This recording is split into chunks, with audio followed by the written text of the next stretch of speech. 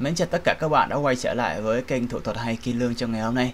Trong buổi chia sẻ ngày hôm nay, tôi sẽ chia sẻ các bạn cái cách để chúng ta khởi tạo một cuộc họp ha mà không giới hạn 40 phút và khoảng 300 người tham gia. Thì uh, cái cách ngày hôm nay tôi chia sẻ với các bạn là thông qua một cái nền tảng ha, đó là trang web là gabowork.com. Thì uh, trên trang web này uh, chúng ta đã tích hợp một cái tài khoản Zoom không giới hạn có nghĩa là trang web này đã mua cái tài khoản Zoom và đối tác của Zoom các bạn ha. Thì bây giờ chúng ta sẽ tiến hành tạo một tài khoản mới ha, ở trên trang web GaboWork này. Rồi, thì à, chúng ta sẽ vào Restart thì tôi sẽ đăng nhập trên một cái trình duyệt mới đi. Đây, tôi đăng nhập vào đây đi. Restart rồi các bạn đợi giây lát nha. Đây, chúng ta sẽ đăng ký với à, tài khoản Microsoft hoặc là Google các bạn ha. Ví dụ tôi đăng à, nhập với tài khoản Microsoft đi.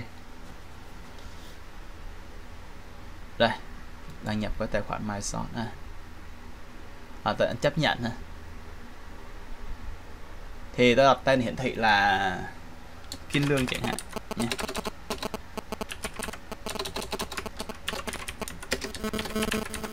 Kim Lương của thuật hành.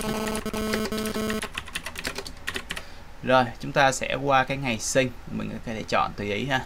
Rồi số điện thoại liên hệ là 0966 772301 chẳng hạn nha. Rồi số điện thoại là của tôi các bạn ha. Các bạn có thắc mắc có thể liên hệ ha. Ấn hoàn tất. Rồi ok. Rồi bây giờ chúng ta sẽ ờ, qua cái ờ, trang gabo quạt này vào trang chủ các bạn ha. Vào trang chủ gabowork.vn thì uh, sau khi chúng ta sẽ vào trang Gabowork này chúng ta sẽ sổ cái xuống cái phần là tạo cuộc họp Zoom này sổ xuống nhé sổ xuống thì đây chúng ta có hai cái cuộc họp thứ nhất là cuộc họp ờ, một lần hoặc là cuộc họp cố định có thể tham gia phòng họp ờ, là bất cứ lúc nào và tái sử dụng nhiều lần. À, chúng ta sẽ click vào đây nha các bạn click vào đây. Rồi nhập tên cho một cuộc họp ví dụ là tôi gọi là kiến lương chẳng hạn. Kiến lương tạo cho một cuộc họp. Rồi tôi tạo cuộc họp mới.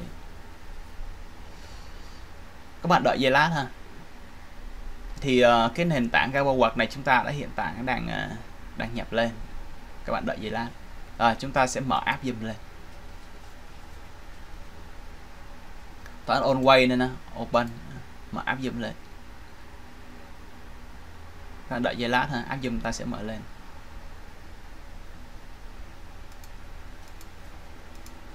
Rồi app zoom ta đăng lên. Các bạn ha à, cuộc họp chúng ta hiện tại đang lên. Các bạn tới giấy lát ha.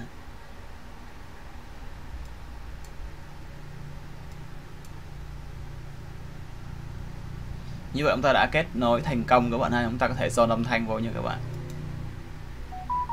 Rồi. Ta có thể dồn âm thanh vô ha. Đó. Rồi ok. Thì uh, cái cuộc họp này chúng ta có thể chia sẻ cái ID cho bất kỳ một người nào đó ha. Bằng cách chúng ta click vào chỗ là người tham gia nè. Rồi chúng ta tới là mời nè thì các bạn lưu ý rằng ta sẽ sao chép cái lời mời này nha sao chép cái lời mời. Để tôi xem cái lời mời này cái ID nó như thế nào nha. ID cuộc họp của mình là 833 721 5406 phải không? Rồi chúng ta thử vào cái notepad ha ta copy cái ID này. Notepad. À, notepad này à, dán cho thì uh, hiện tại cái ID của mình á, là 833 724 nha các bạn. Đó. 833 724 5806 và mật mã của mình là 123 707 563 đó. Thì đây là một cái ID uh, ờ, cố định mà trên trang GaboWork đã share chúng ta nha các bạn nha đó.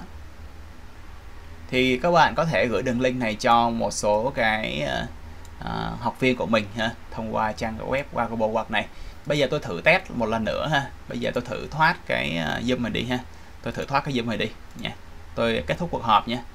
Để tôi thử tạo ra một cái à, cuộc họp mới xem ID nó giống nhau không nha. Tôi sẽ kết thúc cuộc họp. Kết thúc. Kết thúc ha. Tôi sẽ reload lại cái trang GaboWork này nha. tôi sẽ reload lại tí xíu.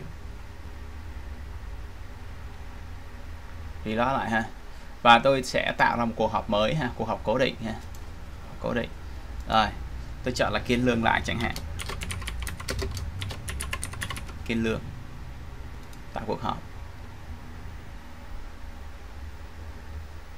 Thì uh, cuộc họp này đang hiện tại đang hiển thị trên cái trang Gabo hoặc uh, ờ, mở app Zoom lên.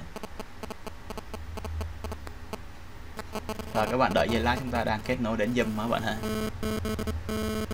rồi, chúng ta đã kết nối đến được Zoom. Rồi, bây giờ chúng ta sẽ hiển thị cái lời mời lên. Ta copy cái lời mời này ha. Đây, copy lại cái lời mời này. Bây giờ tôi sẽ vào Notepad ha tôi kiểm tra lại cái mật mã đúng hay không nha. Mật mã và cái ID có giữ nguyên hay không? Tôi tắt đi nha. Đây. Ctrl V. Rồi. Rồi, cái cuộc họp thứ hai của tôi vẫn là 506 nè. 833 7241 506 và mật mã là 123 707 563 đây. Thì uh, cái cuộc họp ID của mình vẫn giữ nguyên các bạn ha. Đó.